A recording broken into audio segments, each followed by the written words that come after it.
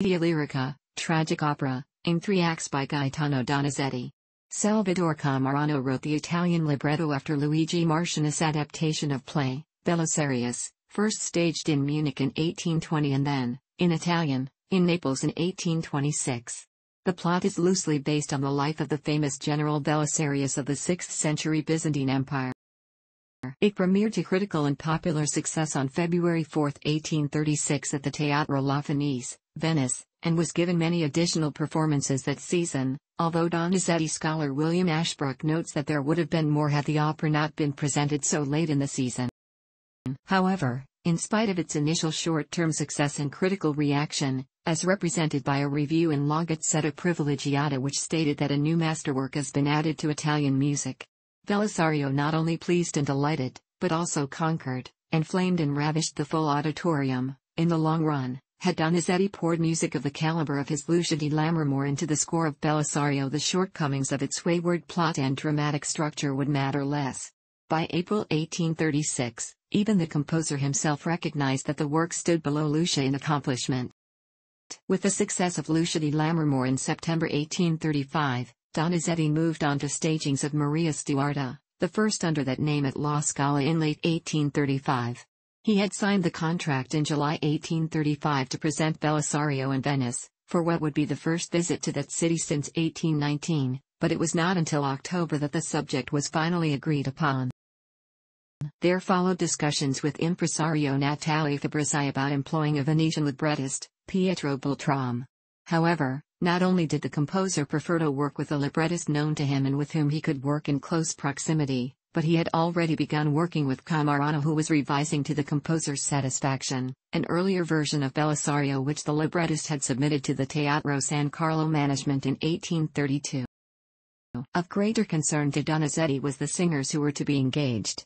Primarily, he was concerned about the identity of the leading tenor, until I know for sure, I cannot compose duets, finales and trios, he writes in October.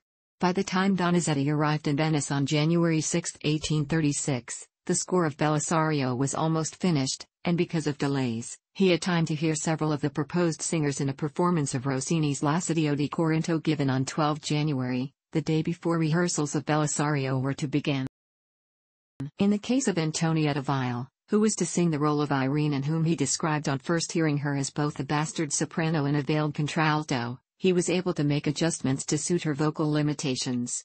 By the time of the first performance, which was well received, Donizetti reported to his publisher the audience's reaction to most of the numbers, specifically that in the duet for violin Salvatore, many shouts of bravi, but at the end, so they say, the situation is so moving that they were weeping. In a review of the 2011 London performance, some of the strengths of Donizetti's score are outlined. 19th century The opera's popularity continued through the 19th century, with stagings in 31 cities both in Europe and America.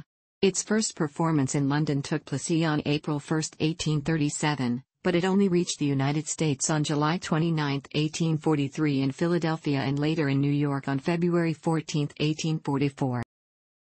After an 1899 performance in Coblenz, the opera disappeared.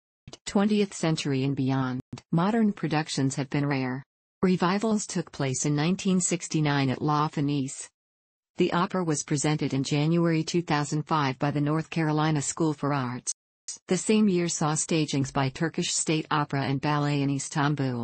In July 2010, the opera was performed by the Buenos Aires Lyrica concert performance, starring Nelly Miricioiu with London's Chelsea Opera Group under conductor Richard Bonynge, was given at Queen Elizabeth Hall on 13 February 2011. Belisario was given a new production at the Teatro Donizetti in Bergamo as part of the Donizetti Festival in September 2012 using the critical edition, while the BBC Symphony Orchestra presented a concert performance in London on October 28, 2012 with Canadian soprano Joyce El-Khoury as Antonina and Sicilian baritone Nicola Alaimo as the title character. Il Trionfo, Triumph, the hall in the Emperor's Palace, Irene and the populace greet the victor Belisarius.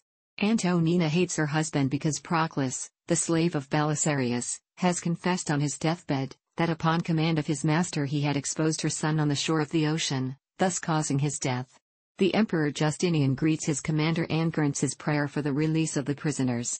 The captive, Alamiro, who adores Belisarius, refuses to leave him, recitative and duet, Che veggio.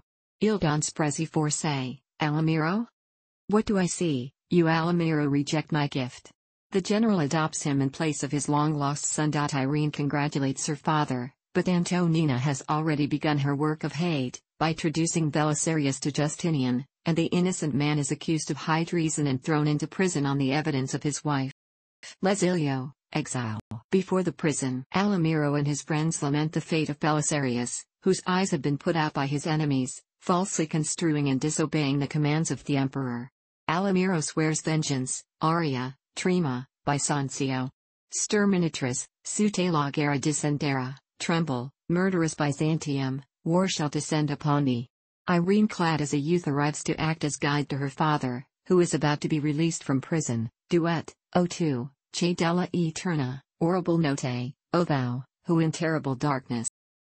La Mort, Death. In the mountains, as the clang of weapons is heard, Irene leads Belisarius to a cave for safety. Alamiro now leads the army of the Alani against Byzantium to avenge Belisarius. Belisarius confronts him and recognizes him as his son through an amulet. At his father's request, the son leaves the ranks of the enemies of Byzantium, and the Alani, now under the command of Ottavio, march to Byzantium, having no fear, as the emperor's army is bereft of its leader.